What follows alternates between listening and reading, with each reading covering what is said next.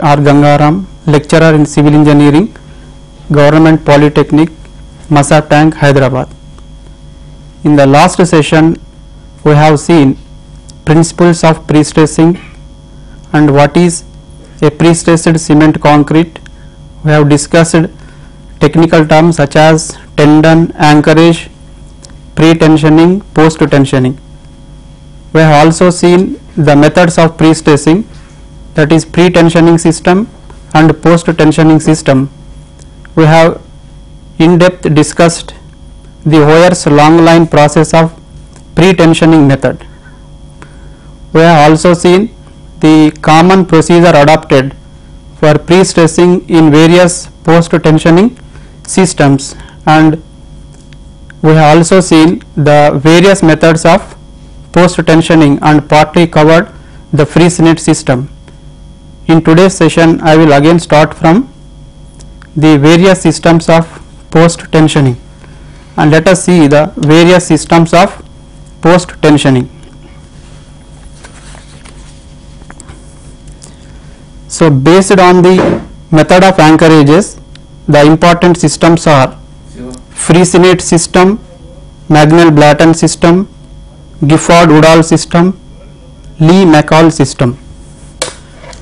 Now, in today's session, we will discuss in detail about these various methods and we will discuss the remaining principles of pre-stressed concrete.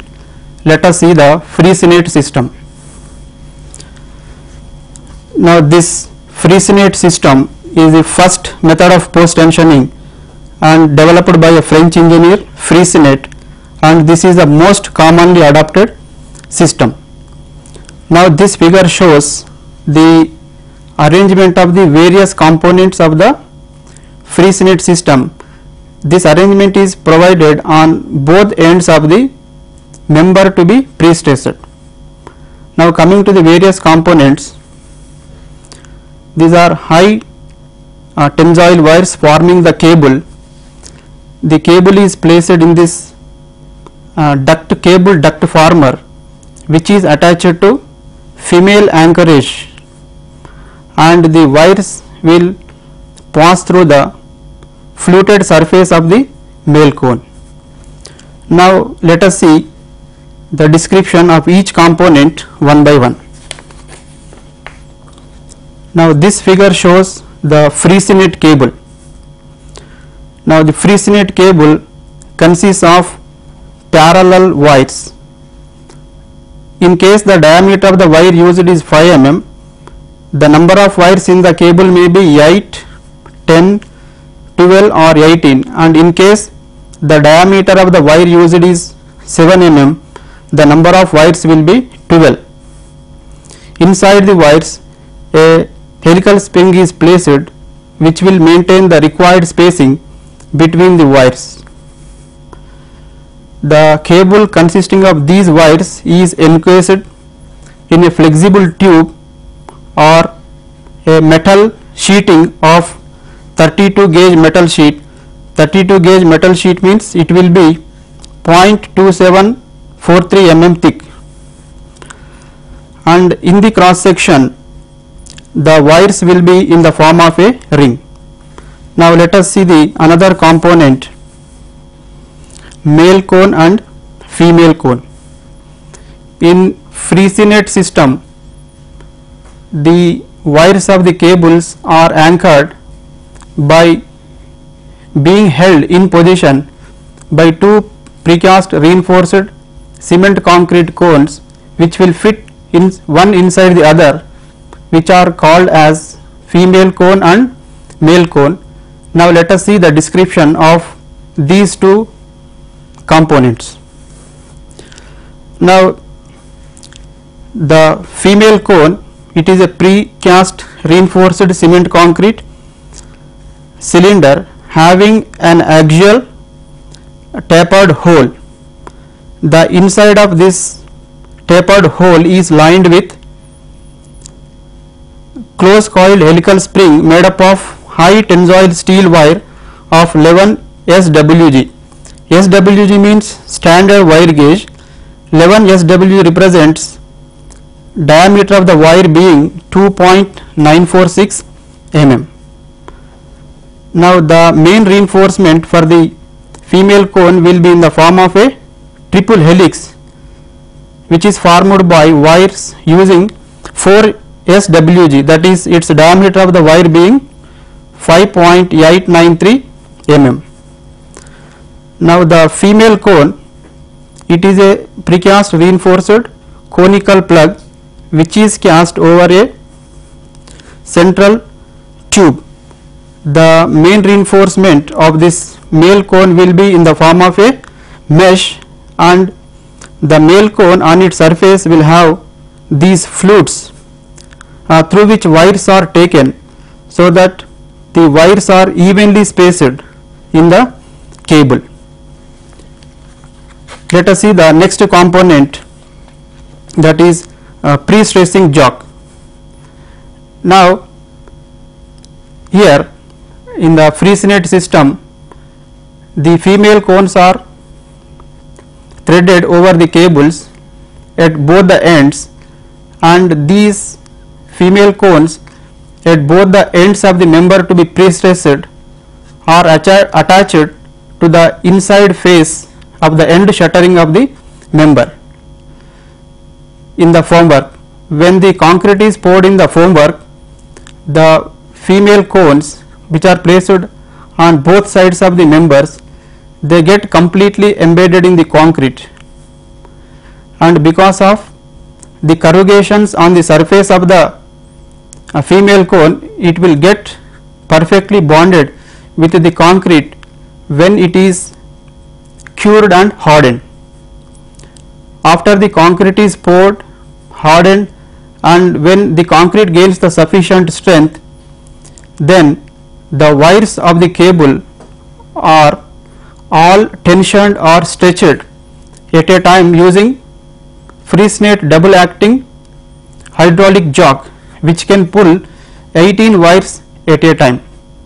Now let us see how this uh, tensioning of the cables is wires of the cables are carried out.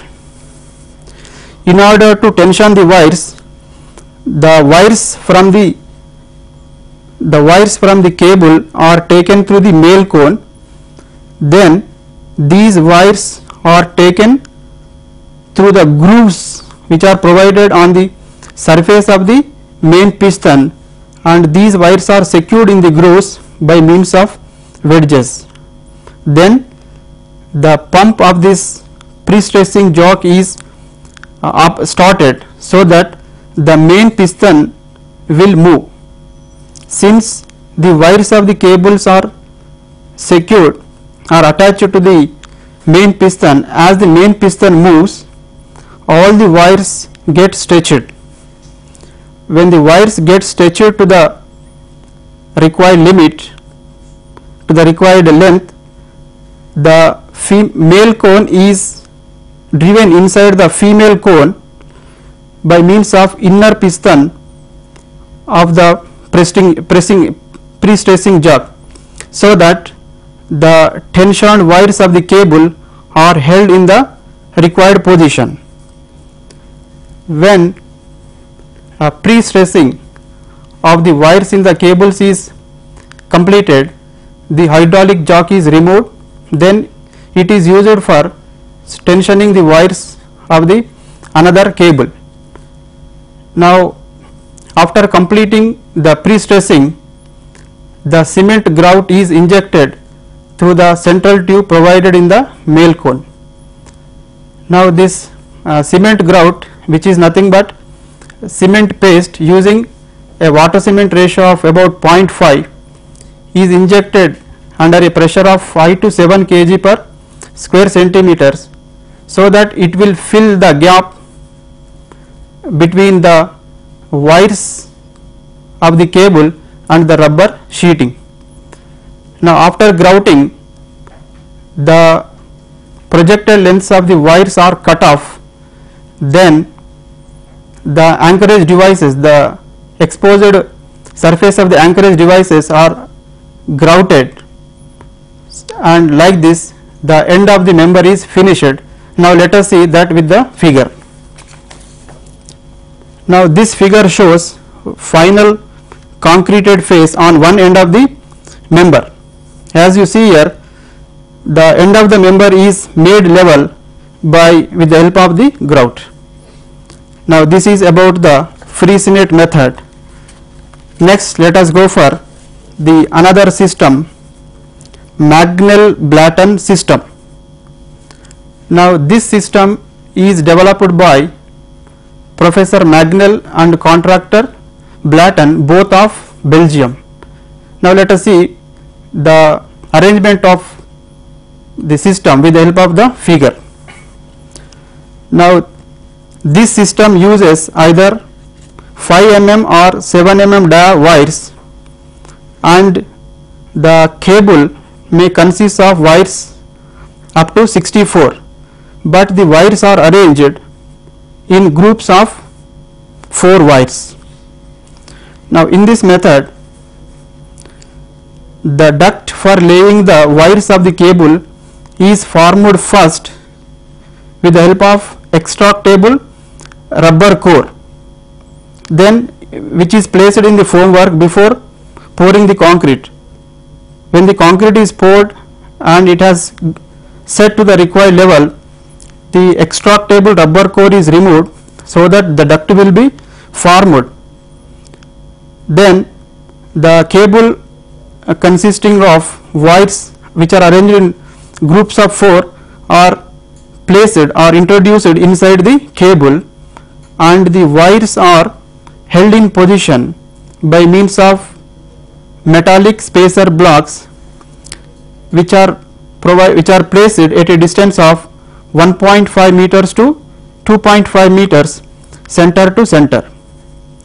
Then a distribution plate is either cast into the concrete at both the extremities of the ducts or it is cemented or pasted over a bed of cement mortar when the concrete of the member has set and hardened and before placing the before assembling the anchorage devices. In this uh, Magnel-Blaton system the anchorage devices will be in the form of steel plates which are called sandwich plates. These sandwich plates are having two trapezoidal grooves on the upper surface and two trapezoidal grooves on the lower surface and each groove can hold two wires. The wires whenever required are held in position by driving the steel wedge uh, inside the grooves which will completely fit the groove. Like this one sandwich plate can anchor in total 4 number of wires using I am sorry 8 wires using 4 wedges. So, the anchorage for the entire cable is formed by placing these sandwich plates one over the other. Then two wires in each groove are tensioned at a time using the hydraulic jock pre-stressing jock. When the wires are tensioned or stretched to the required limit so that the required pre-stressing force is induced into the wires then the wires are held in position by driving these steel wedge inside the groove thereby the anchorage assembly consisting of sandwich plates and grooves will transfer the pre-stressing force to the concrete member through the distribution plate which is placed in between the anchorage devices and the end of the member. Now this is how uh, post tensioning is carried out in Magnel-Blaton system. Now let us see the third method that is Gifford-Udall system. This Gifford-Udall system is developed by Gifford-Udall who is a who belongs to Great Britain Now this Gifford-Udall system uses cables consisting of 7 mm dia wires. The wires in the cable are arranged in the form of parallel wires which are separated by means of circular spacers which are provided at 1 meter center to center.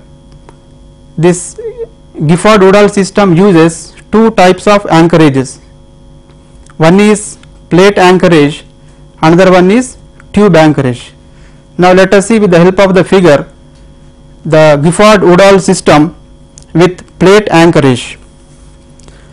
Now as we see in the figure this Gifford-Udall plate anchorage system consists of bearing plate, thrust ring, steel helix, anchor grips.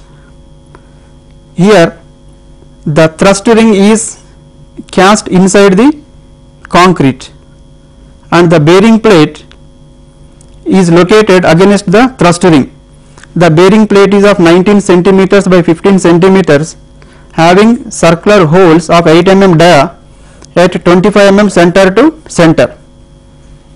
The end of the duct is encircled by an helix. The wires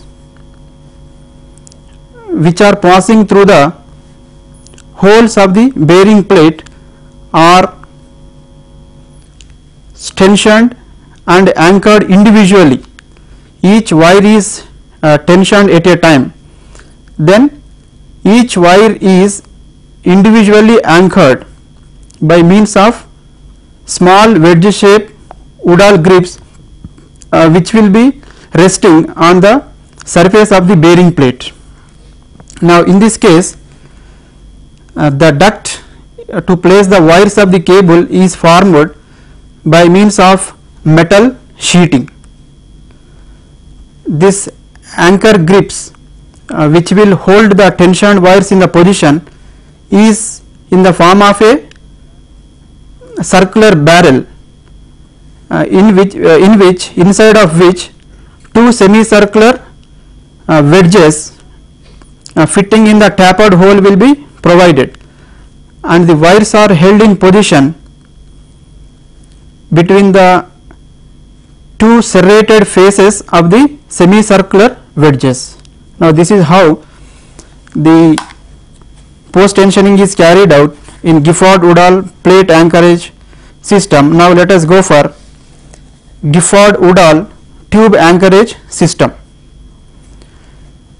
In this system the bearing plate will be of more thick so that the wires which are tensioned they can be held in position or anchored directly by means of steel wedges which will fit into the recess tapered recess that is provided inside the bearing plate because it is too thick and there is no need of providing uh, additional anchor grips as in the case of the plate anchorage system. This is the tube unit uh, which includes thrust ring along with the helix. Now this tube unit is firmly locked in the formwork and when the concrete is poured in the formwork the tube unit will completely embedded in the concrete. This tube unit will facilitate the spreading of the wires in the cable so that the wires will pass through the holes made in the bearing plate. Uh, in this system the duct is formed by means of circular metal tube.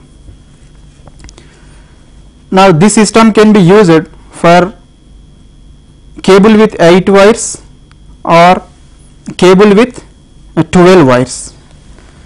Next let us see the another system that is Lee McCall system of post tensioning. This McCall system is developed by McCall of Great Britain. This system uses high tensile alloy steel bars uh, in place whereas in all other systems high tensile steel wires are used as pre-stressing tendons but here this system uses high tensile alloy steel bars, steel rods are used as the uh, pre-stressing tendons and the diameter of these bars varies from 12 mm to 28 mm. Now, in order to place these bars inside the concrete member, first the duct in the form of a hole is made by placing rubber core in the formwork before placing the concrete. Then after the concrete is poured and uh, sets and hardens, the rubber core is removed, uh, leaving a hole inside the, leaving the required number of holes in the body of the concrete. Then these high tensile steel bars are placed in the holes using hydraulic jogs these uh, pre-stressing uh, tendons in the form of the bars are stretched or tensioned or we can say uh, pre-stressing force is introduced. When the bar is stretched to the required uh, limit. Since uh, threads are provided on both ends of the bars nuts are tightened against washer and the end plate which will prevent the bar returning to its original position.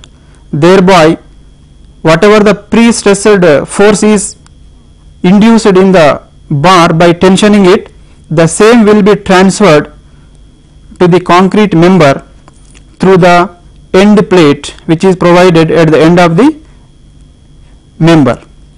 Now, this is the discussion about the four important systems of uh, post tensioning. Now, uh, let we will discuss the applications of the uh, post tensioning. Now, coming to the applications of the post tensioning, this post tensioning system is ideally suited for medium to large span in situ works. Also, the post tensioning is adapted for pre-stressing long span bridge decks of the box girder type for strengthening of the concrete dams, pre-stressing of circular tanks, circular pipes, floor and roof slabs, pavements, etc. Next, uh, we will discuss in the case of the pre-stressed concrete whether it may be a pre-tensioning system or post-tensioning system. High compressive strength concrete and high tensile strength steel are used. Now let us discuss what is the necessity of using such materials and what are the Indian standard requirements. Before going to discuss that, we will discuss the related important technical terms. Now let us see these technical terms. The first one is creep in concrete progressive increase in the inelastic deformation of the concrete under sustained stress component is called creep of the concrete. In the case of the uh, pre-stressed concrete members whether it may be pre-tensioning or uh, post-tensioning system in both the systems the compressive compressive stresses or the pre-stressing force in the form of the compressive force is introduced in the concrete in the tension zone. Now, immediately when the pre-stressing force that is a compressive force is transferred to the concrete in the tension zone from the pre-stressing tendons immediately the concrete in the tension zone will undergo compression that means it will undergo a compressive strains they will be within the elastic limits. So, these occur immediately after transferring of the pre-stressing force from the tendon to the uh, concrete. Now, due to this it will immediately undergo compressive strains they, they will be within the elastic limits and these are called elastic deformations of the concrete. So, due to these elastic uh, deformation of the concrete which is a compressive strain the pre-stressing force part of the pre-stressing force that is introduced into the concrete will be lost. Now since this uh, pre-stressing force which is a compressive force or a compressive stress since it uh, remains permanently in the concrete so that is called a sustained loading the loading or the stress which remains in position permanently is called uh, sustained stress component or sustained force. Now due to this the compressive strains will uh, develop and the concrete will enter into plastic uh, state. And due to these uh, permanent forces the concrete will undergo continuous increase in the compressive strains. The strains will continue for longer time. So because of uh, this compressive nature of the strains the pre there some part of the pre-stressing force will be lost. That is the importance of uh, creep in concrete. Let us see the another term that is shrinkage of the concrete. The shrinkage of the concrete is contraction or reduction in volume of concrete on drying when the concrete is uh, poured and under the process of setting and hardening when the concrete is exposed to the atmosphere there will be gradual, gradual loss of moisture from the concrete.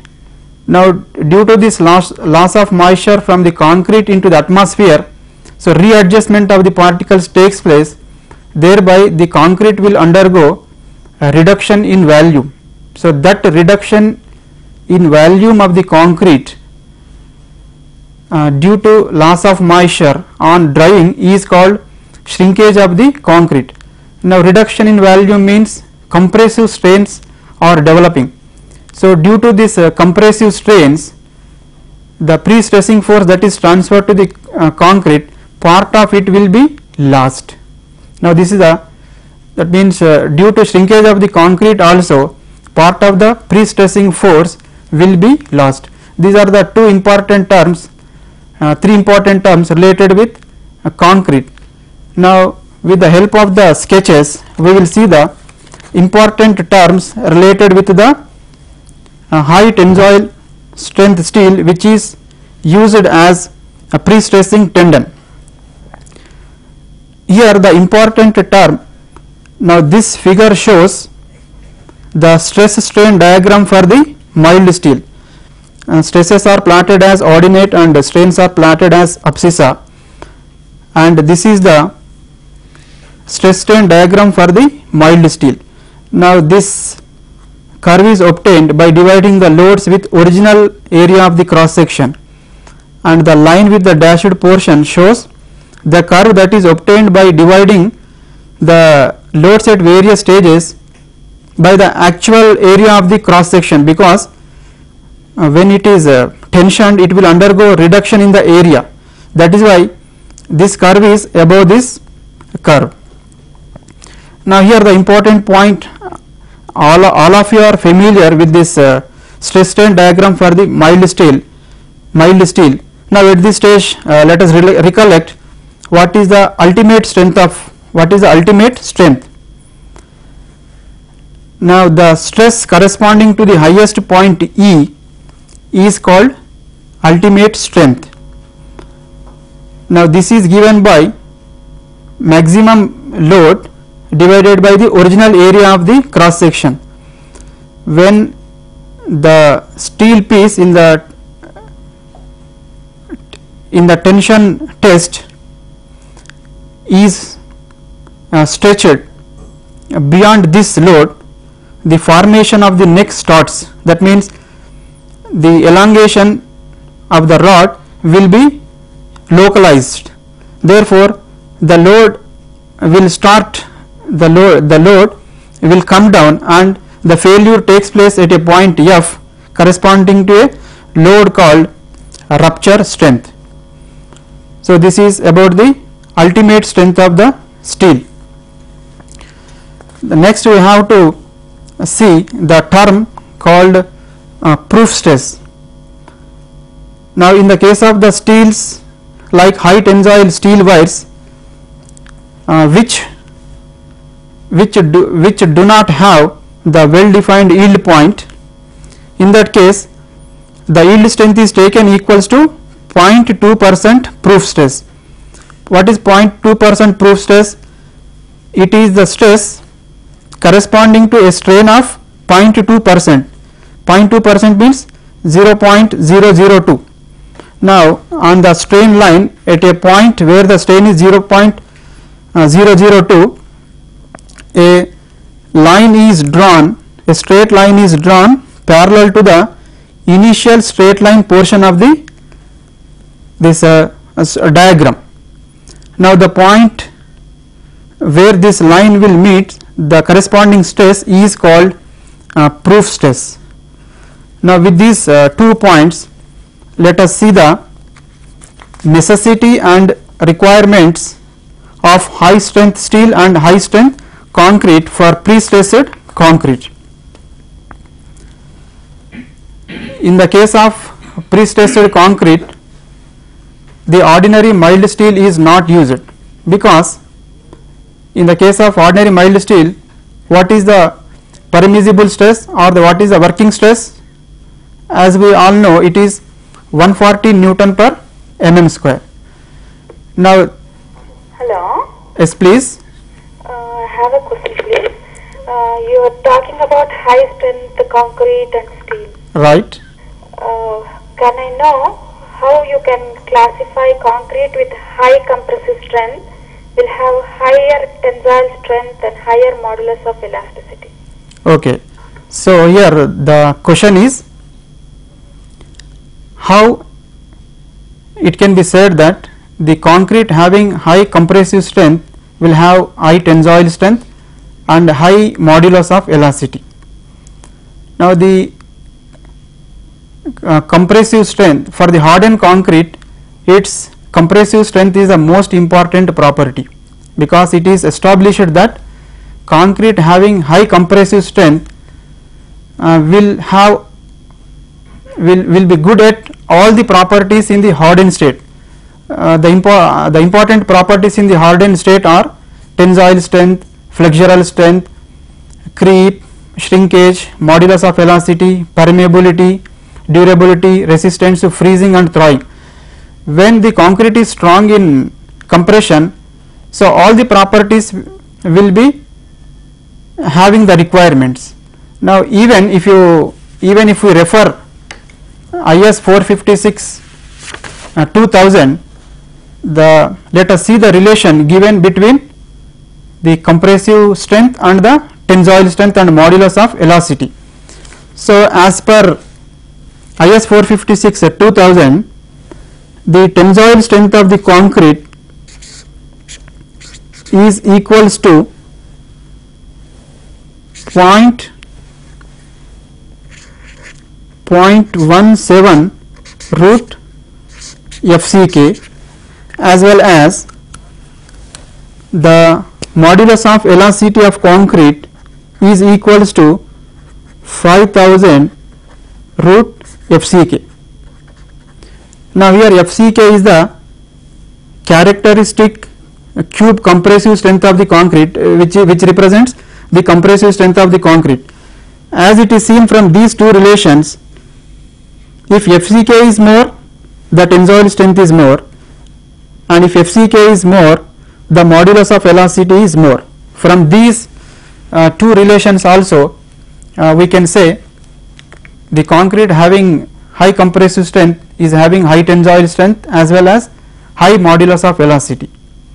Now I think uh, you have got your doubt cleared.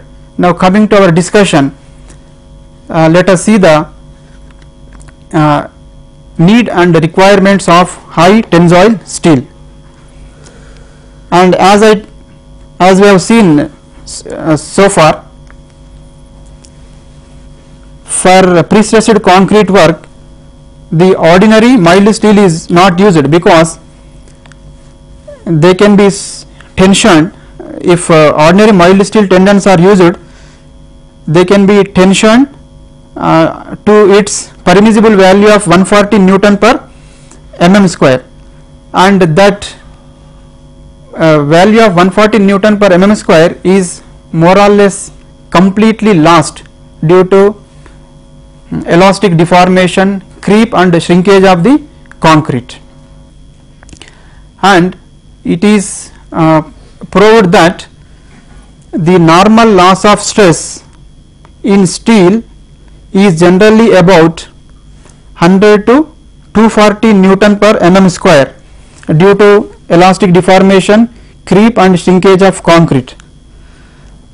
Now from this it is clear that for this loss of stress is to be a part of the uh, initial stress the stress in steel in the initial stages must be very high about 1200 to 2000 Newton per mm square and these high stress ranges are possible only using high tensile steel.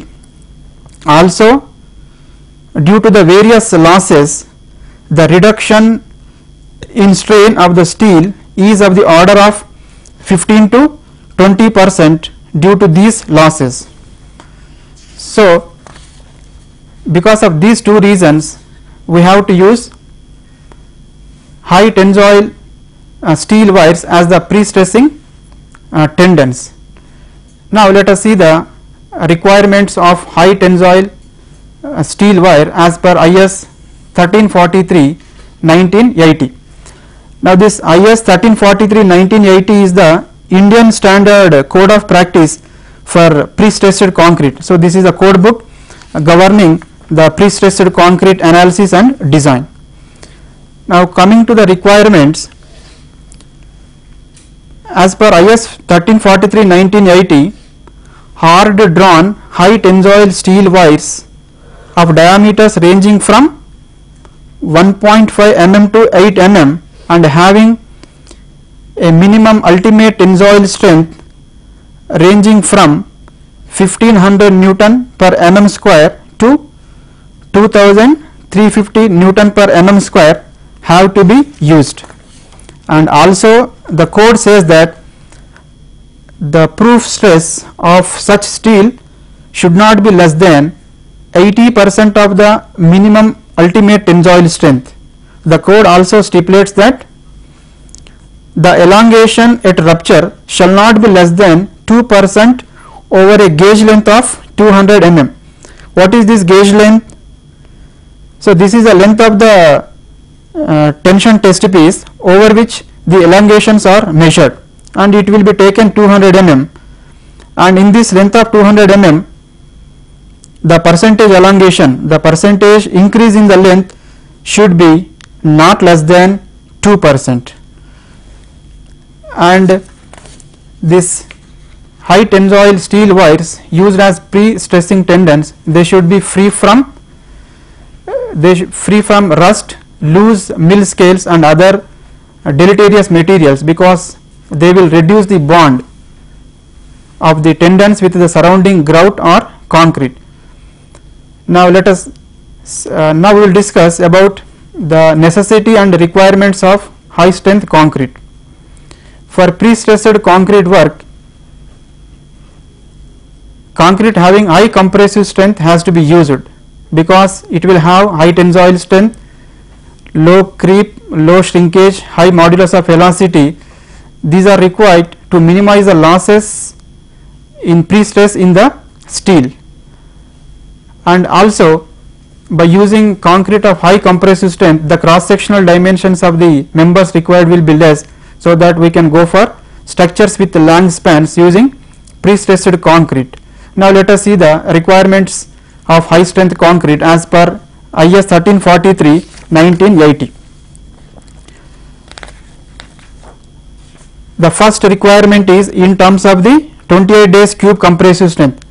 For pre-tensioned work it should not be less than 42 Newton per mm square and for post-tensioned work it should not be less than 35 Newton per mm square. The another requirement is in terms of the uh, cement content.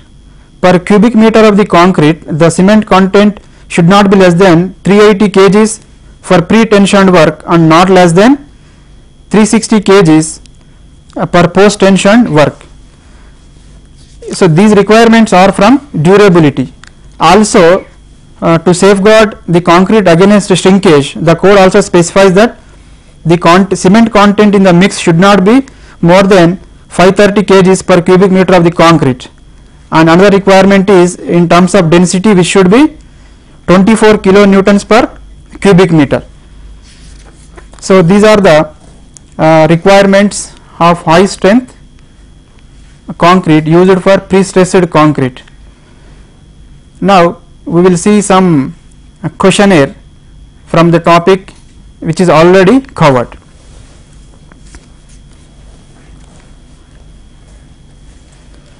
The first question is a device which is used to impart a pre-stressing force to the concrete from a tendon in pre-stressed concrete is called A. Cone B. Anchorage C. Wedge D. Anchor plate. The correct answer is the devices are called anchorage. Coming to the next question. The system of post tensioning in which precast reinforced concrete cones that is male cone and female cone are used for anchoring tendons is A. Lee-McCall system B. Freycinet system C. Hoyer system D. Magnel-Blaton system. So, here the Freycinet system uses male cone and female cone for anchoring the pre-stressing tendons. Let us see the third question. In Magnel-Blaton system, the anchorage is in the form of male and female cones, end steel bearing plate, sandwich plates, hydraulics jogs. So, in the Magnel-Blaton system as we have seen it will be in the form of a sandwich plate which will have trapezoidal grooves on its upper surface and lower surface. The next question the system in which high tensile alloy steel bars are used as pre-stressing tendons A. Freycinet system B. Gifford Udall system C. Magnel-Blaton system D. Lee-McCall system. So, the correct answer is Lee-McCall system. We will see another question as per IS 1343 1980 the 28 days cube compressive strength of concrete for pre-tensioned work shall not be less than 53 Newton per mm square, 42 Newton per mm square, 35 Newton per mm square, 20 Newton per mm square. So, the correct answer is 42 Newton per mm square. So, in this uh, session uh, we have discussed in detail about the various systems of uh, post tensioning. We have seen the need and requirements of high strength concrete, high tensile strength steel and in the coming session we will see the various losses in pre-stressed concrete.